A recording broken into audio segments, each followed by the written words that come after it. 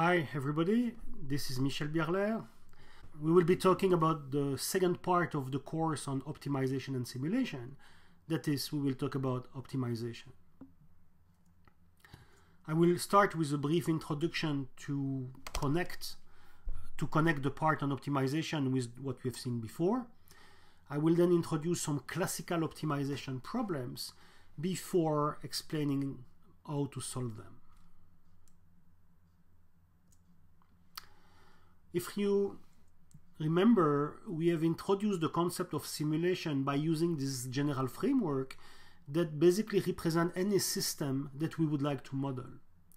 It combines several types of variables. X are the state variables, Y are the external inputs, U are the control variables, and they are all combined in a complex way through the system in order to generate a vector of indicators that we denote by z. All these quantities, x, y, u, and z, are random variables. And this is how we introduce the concept of simulation because we needed to calculate how the uncertainty was propagating through the system using this uh, formulation.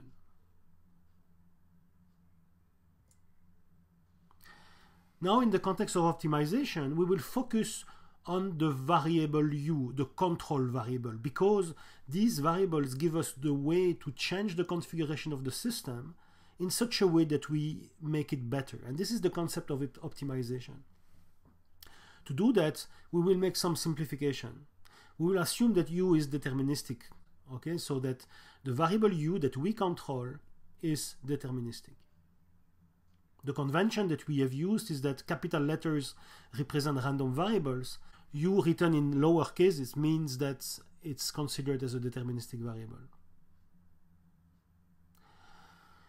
So if you remember, a simulator may produce various indicators, but these indicators are distributed.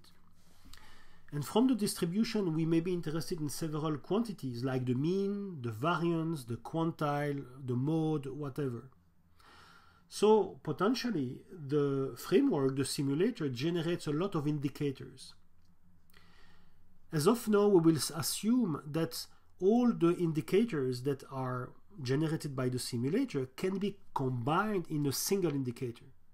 And we denote this value f of u. So basically, for each value of u that we provide, the simulator will generate an indicator called f of u. And the concept of optimization is to find the values of u in such a way that f of u is either the largest or the smallest. Let's take an example that we have already analyzed in this course, the simulation of Rico working at Satellite. In this case, x is the number of customers in the bar,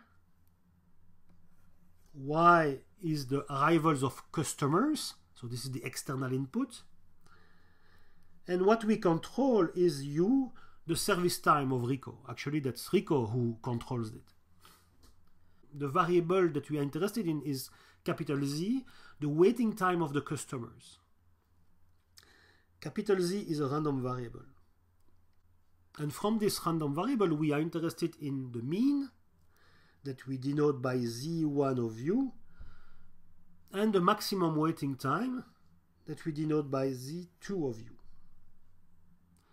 And now we need to combine all these indicators, so the two indicators that you are generating from the simulator, into one objective function. Here we would like to minimize the sum of the mean waiting time and the maximum waiting time. So Z1 plus Z2.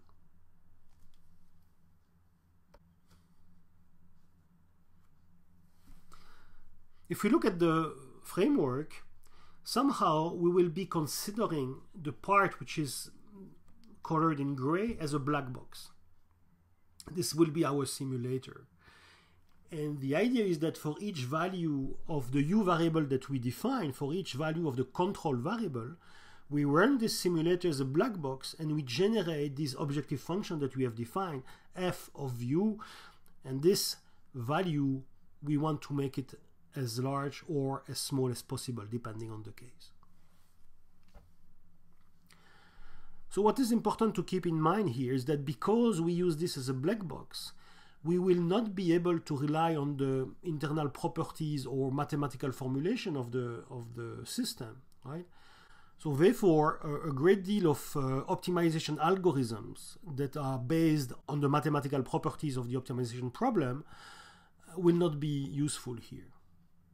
I mean, we don't know if the problem is continuous, we don't know if the problem is convex, we don't know if the problem is differentiable. So we will not be able to rely on all this family of optimization algorithms. If we consider the simulator as a black box, basically the optimization problem that we are considering can be written as follows.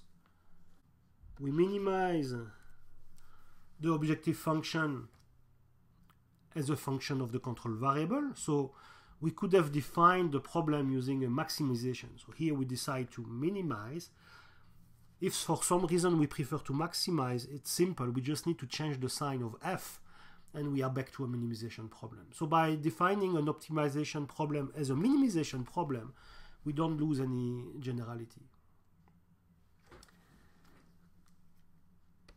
Now in practice, you cannot choose whatever you want for you. I mean, every system has constraints. You cannot do whatever you want.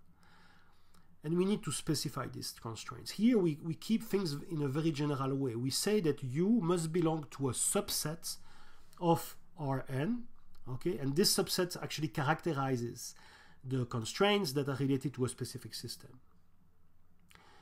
In the terminology of optimization, we will call this subset U the feasible set. And in many contexts, this feasible set is a finite set. And in this case, we will be referring to this problem as a combinatorial optimization problem.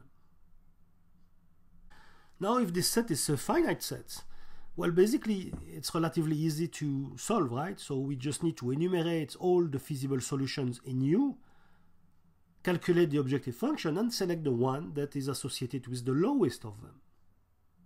However, in all the useful cases, the set U is so large that enumerating it is not possible. And this is something that we will be talking about in the context of specific optimization problem.